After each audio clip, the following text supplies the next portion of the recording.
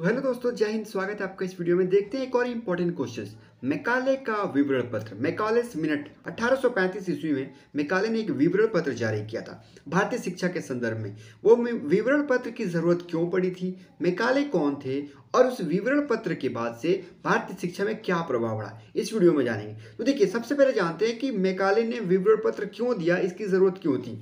यह बात है सन 1813 ईस्वी की, जब ब्रिटिश पार्लियामेंट एक अध्यादेश जारी करती है, जिसकी धारा 43 में यह कहा जाता है कि तत्कालीन कंपनी, ईस्ट इंडिया कंपनी, दस हज़ार पाउंड अर्थात एक लाख रुपए की धनराशि भारतीय शिक्षा पर व्यय करेगी, खर्च करेगी। ठीक है, इस एक्ट में भारतीय शिक्षा की नीति निर्धारित करते समय केवल उद्देश्य का ही उल्लेख था। इस बात का स्पष्टीकरण नहीं था कि यह एक लाख रुपए कि किस किस प्रकार से खर्च की जाएगी और कैसे खर्च की जाएगी।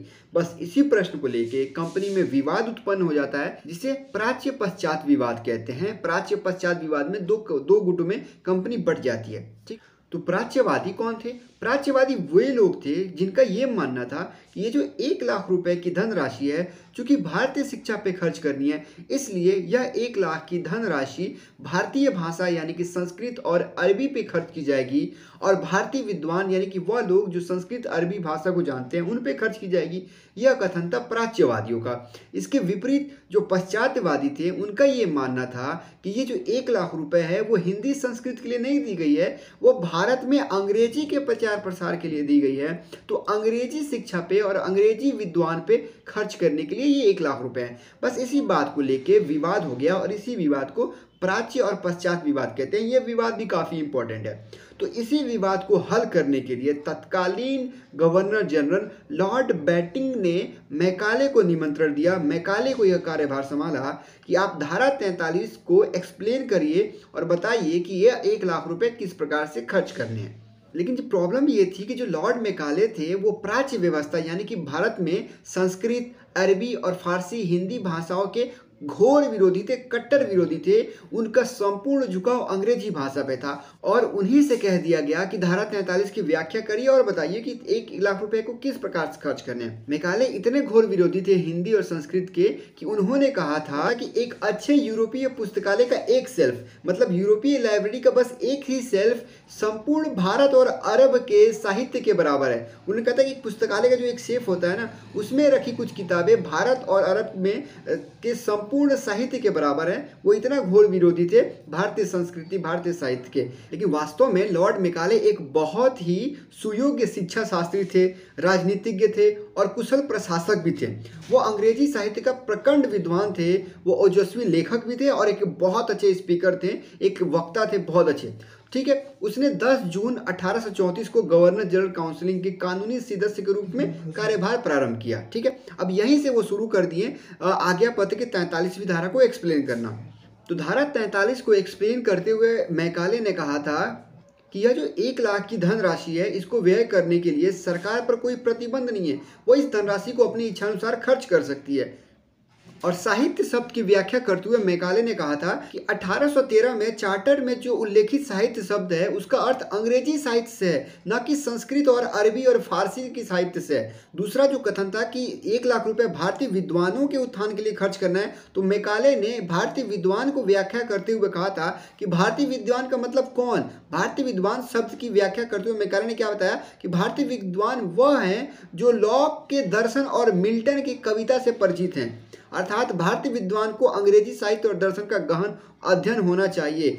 लॉर्ड, जबकि जो प्राच्यवादी थे, जो भारतीय संस्कृति को मानते थे, उनका मानना था कि भारतीय विद्वान वो जिन्हें अरबी और संस्कृत भाषा का का व्याख्याति प्राप्त हो, जो अरबी और संस्कृत भाषा में विद्वान हो। लेकिन मैकाले का झुकाव बिल्कुल अंग्रेज़ी की तरफ़ था और उसने कहा था, भारतीय विद्वान का मतलब वो जिन्हें अंग्रेज़ी का अच्छा ज्ञान हो, उनके ऊपर ये एक लाख खर्च करने हैं।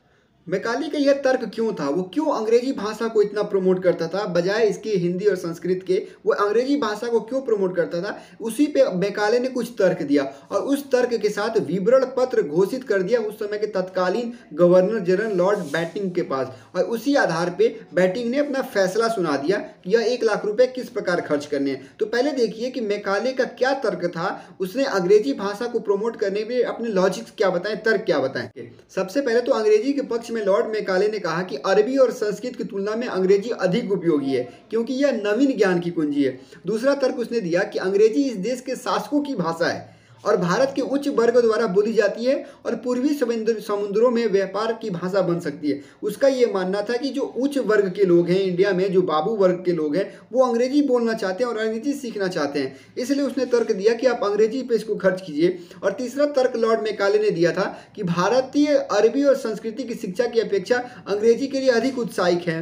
चौथा तर्क उसने दिया कि भारतीयों को अंग्रेज़ का अंग्रेज़ी का अच्छा विद्वान बनाया जा सकता है। हमारे प्रयास इसी इसी दिशा में होनी चाहिए। और पांचवा तर्क दिया कि अंग्रेज़ी शिक्षा द्वारा इस देश के ऐसे वर्गों का निर्माण किया जा सकता है, जो रक्त और रंग से तो भले ही भारतीय होंगे, लेकिन विचार और नैतिकता से अंग्रेज़ होंगे। तो मैकाले का पूरा विवरण इसी पे आधारित था कि ये जो एक लाख रुपए है, इसका खर्च आप अंग्रेज़ी शिक्षा के लिए करिए, अंग्रेज़ी विद्वानों के उत्थान के लिए करिए, और भारत में अंग्रेज़ी शिक्षा का प्रचार प्रसार करिए। बस क्या था? लॉर्ड मेकाले ने इसी का विवरण पत्र घोषित कर दिया। उस समय के तत्कालीन governor general lord lord Bentinck ने। और लॉर्ड बैटिंग ने क्या किया? बस इसी आधार पे उन्होंने फैसला सुना दिया। क्या फैसला सुनाया उन्होंने? तो लॉर्ड विलियम बैटिंग, उस समय के तत्कालीन गवर्नर जनरल ने मेकाले के विवरण पत्र में व्यक्त किए गए सभी विचारों का अनुमोदन किया। तदुपरांत 7 मार्च 1835 ईस्वी को एक विज्ञप्ति में उसने सरकार की शिक्षा नीति को निम्न शब्दों में घोषित कर दिया। क्या कहा? उन्होंने कहा कि शिक्षा के लिए निर्धारित संपूर्ण धन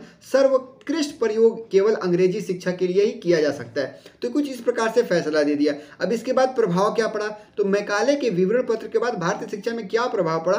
आइए वो जानते हैं। दो तरह के प्रभाव कह सकते हैं। एक तो तत्कालीन प्रभाव, एक दीर्घकालीन प्रभाव। मतलब जो रिसेंटली उस पर इफ़ेक्ट पड़ा, वो क्या था? तत्कालीन प्रभाव की बात करें तो तत्कालीन प्रभाव तो ये पड़ा कि शिक्षा नीति की घोषणा हो गई, जिसमें यह कहा गया कि अंग्रेज़ी ही सर्वश्रेष्ठ शिक्षा है, आप उसी पे व्यय करिए इस रकम को।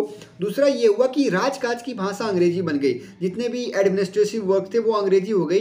ठीक है? इसके बाद हुआ कि अंग्रेज़ी शिक्षा प्रणाली की शुरुआत हो गई हिंदुस्तान में। अंग्रेज़ी पे ज़ोर शोर देने लगा। नौकरियों के लिए अंग्रेज़ी अनिवार्यता हो गई। नौकरियों के लिए इंग्लिश को प्रेफरेंस ज़्यादा देने लगा, उसको वरीयता देने लग गई। तो ये तो तत्कालिक प्रभाव हुआ। और लॉन्ग टर्म की बात करें, जो दीर्घकालीन प्रभाव क्या था मेकाले के विवरण पत्र में तो भारत में अंग्रेज़ी के शिक्षा के प्रसार प्रसार से क्या हुआ? हमें एक नए भाषा का ज्ञान हुआ। हमें नई चीज़ें सीखने को मिली। तो इसको कह सकते हैं कि भारत में भौतिक उन्नति का एक मार्ग प्रकाशन हो गया, ठीक है? दूसरा बात करें तो भारत में राजनीतिक जागरूकता का उदय हो गया। इसके बाद धीरे धीरे करके भारत में इसकी खुद की सभ्यता धीरे धीरे धूमिल होने लगी और अंग्रेज़ी शिक्षा, अंग्रेज़ी सभ्यता इसमें शामिल होने लगी। अंग्रेज़ी भाषा का वर्चस्व बढ़ गया और अंग्रेज़ी का ही बोलबाला हो गया। तो दोस्तों, ये कुछ प्रभाव था मेकाले के विवरण पत्र का। दोस्तों, ये जो टॉपिक है मेकाले का विवरण पत्र, ये एक इतिहास का भाग है और इतिहास को बस हम सुन के समझ सकते हैं, इसे अपनी भाषा में हम लिख सकते हैं, ठीक है? तो ये था एक टॉपिक मेकाले का विवरण पत्र क्या था उन्हें विवरण पत्र में क्या कहा और विवरण पत्र क्यों दिया, इसका क्या प्रभाव पड़ा? ये एक इंपॉर्टेंट का क्वेश्चन था दोस्तों मैं मैंने कोशिश करी कि मैं आपको थोड़ा सा समझा सकूँ। उम्मीद है अगर चीज़ें समझ में आई होंगी। चीज़ें समझ में आई हूँ तो अब आपको अपनी भाषा में इसको लिखना है, ठीक है?